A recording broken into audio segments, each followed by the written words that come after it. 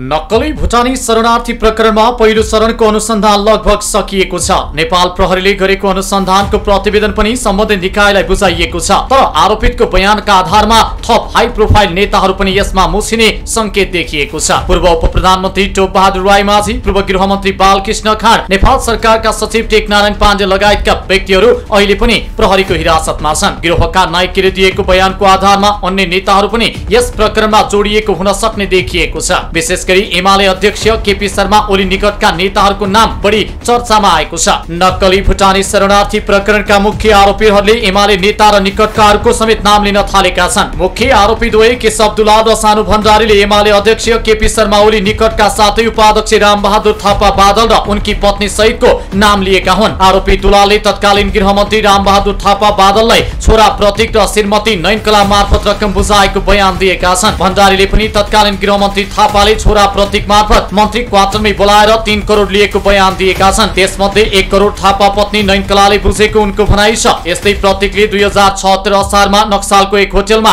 छुट्टै एक करोड रुपियाँ लिएको दावी उनको बयानले समेत गरेको छ। तत्कालीन गृह सचिव र हाल अख्तियार दुरुपयोग अनुसन्धान आयोगका प्रमुख आयुक्त प्रेम कुमार राईले तत्कालीन गृहमन्त्री बादलका सुरक्षा सल्लाहकार इन्द्रजित राई मार्फत गृह मन्त्रालयको सचिवको कार्यकक्षमा बोलाई तीन करोड नगद बुझी लिएको आरोप दुलालको छ। यसै गरी सानु भण्डारीले तत्कालीन गृह सचिव राईलाई इन्द्रजित मार्फत एक करोड रुपियाँ गाडीमा राखिदिएको बयान दिएका छन्। तत्कालीन प्रधानमन्त्री केपी शर्मा ओलीका प्रमुख स्वकीय सचिव राजेश बज्राचार्यले प्रधानमन्त्री क्वार्टर बालुवाटारमै ऊर्जा मन्त्री टोप बहादुर राई माझीका प्रमुख स्वकीय सचिव लीला जेसी मार्फत आफूलाई बोलाएर दुई साल असोजमा एक करोड नगद नै लिएको पनि उनको दावी छ। तत्कालीन प्रधानमन्त्री ओलीका पूर्व सल्लाहकार अजय क्रान्ति साक्य र काठमाडौँ महानगरपालिकाका तत्कालीन मेयर विद्या सुन्दर साक्यका निजी सचिव राजेश्वर स्थापितले सामाजिक सामाजिक समितिबाट भुक्तानी शरणार्थीका विषयलाई निर्णय गर्न रकम नपुगेको भन्दै लिएको बयानमा दावी गरिएको छ अझै क्रान्त साक्य र राजेश स्थापितलाई जनै एक करोड रुपियाँ दिएको दावी गरिएको छ दुलालको उक्त बयानमा भण्डारीले पनि सहयोग पुग्ने बयान लिएका छन् यसरी अन्य व्यक्तिको नाम पनि सार्वजनिक भएको छ नेपाल प्रहरीले पनि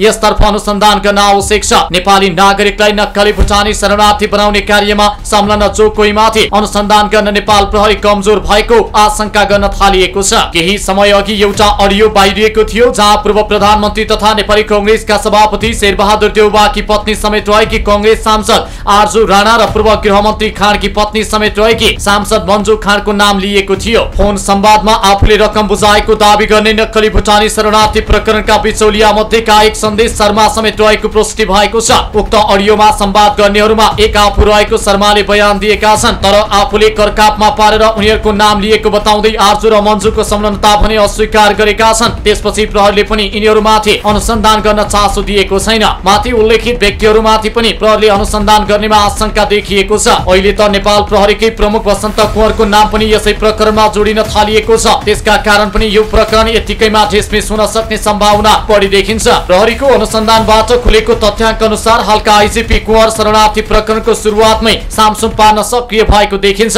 कुँवरको तत्कालीन गृह सचिव पाण्डे र गृहमन्त्री खानसँग नियमित सम्पर्क हुने गरेको तथ्य पनि प्रहरी अनुसन्धानबाटै फेला परेको छ। शरणार्थी प्रकरणको अनुसन्धानका लागि पक्राउ परेका तत्कालीन गृह सचिव पाण्डेको मोबाइलमा कुँवरको शङ्कास्पद भूमिकाका तथ्यहरू भेटिएका छन्। यसरी सबै हाई प्रोफाइल नेता तथा कर्मचारीहरू यो प्रकरणमा मुसिएको हुँदा थप अनुसन्धान अगाडि बढ्नेमा शङ्का उत्पन्न हुने गरेको छ। तर प्रधानमन्त्री प्रचण्ड र गृहमन्त्री नारायण काजु श्रेष्ठले भने यो भ्रष्टाचारको सवालमा कसैसँग पनि सम्झौता नगर्ने दावी गर्दै आएका छन्।